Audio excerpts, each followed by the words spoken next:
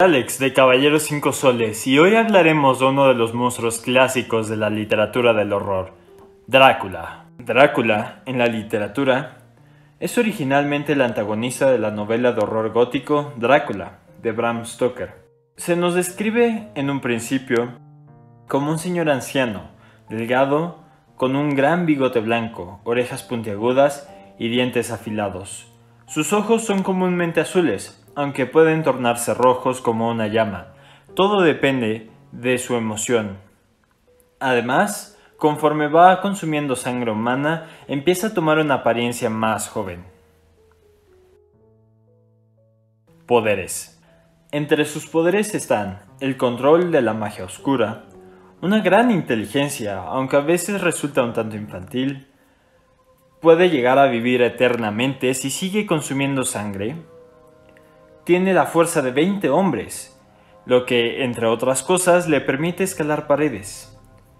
Puede cambiar de forma, ya sea en un lobo o un vampiro. Y también, hablando de su forma, puede convertirse en una neblina o en polvo incluso. Tiene poderes hipnóticos y puede convertir a sus víctimas en vampiros. Limitaciones. Entre sus limitaciones se encuentran que no puede entrar en hogares a menos de que sea invitado, pierde sus poderes durante el día, tiene que dormir en la tierra de su lugar natal, en este caso Transilvania, se puede repeler con ajo o símbolos religiosos, como son crucifijos o agua bendita, y se puede destruir clavándole una estaca en el corazón y decapitándolo. Ocupación. Entre otras cosas tiene una amplia experiencia en magia y alquimia, y se le considera el rey de los vampiros y gobernante en el castillo Drácula. Lo que conocemos de su vida. Nació el 12 de septiembre de 1497 en Transilvania. En su juventud fue mordido por un vampiro y convertido. Pasó los siguientes años estudiando y resultó ser poderoso, incluso para un vampiro. Para finales del siglo XIX desarrolló un plan para ir a Inglaterra, consumir más cuerpos y crear más vampiros. Para esto contrató a Jonathan Harker, quien supervisaría los detalles de su viaje. Cuando dejó Transilvania llegó a Inglaterra con cajas llenas de la tierra de Transilvania.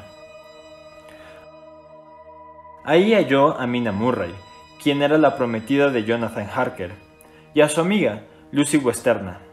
A esta última la empieza a acechar. Eventualmente la termina por matar y la convierte en un vampiro.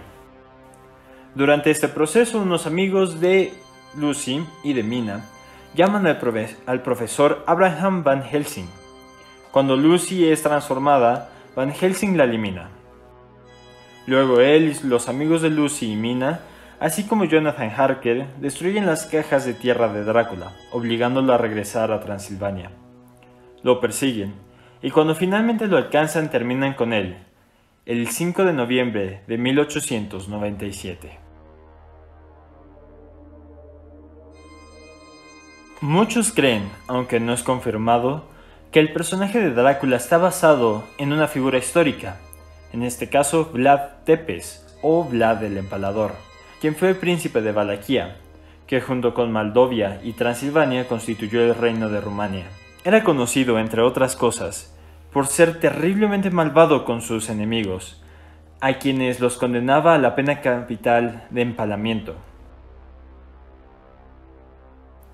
Cuentan las historias, y algunos grabados que lo avalan, que Vlad echaba en un cuenco la sangre de sus víctimas y mojaba en ella el pan mientras comía. El término Drácula deriva del romano Draculia, que significa hijo de Dracul, nombre con el que se conocía su padre. Puede que de ahí haya surgido el nombre.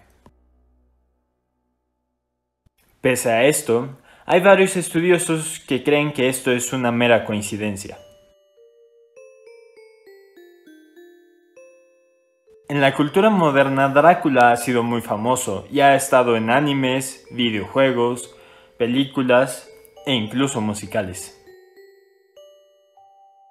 Hay más de 25 videojuegos que tienen a Drácula como personaje. más de 140 películas, más de 70 series de televisión e incluso ha llegado los cómics.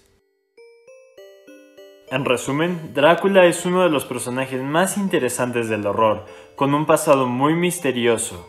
Ha logrado posicionarse en la cultura popular y sigue siendo el personaje principal, o al menos el antagonista principal, de muchas de nuestras historias. El cazador supremo de los humanos. Si aún no estás suscrito Caballero 5 Soles, por favor déjanos un follow que así nos ayudas a crecer bastante. También aquí te dejo unos videos del canal para que veas más de nuestro contenido. Nos vemos en el próximo video. Bye.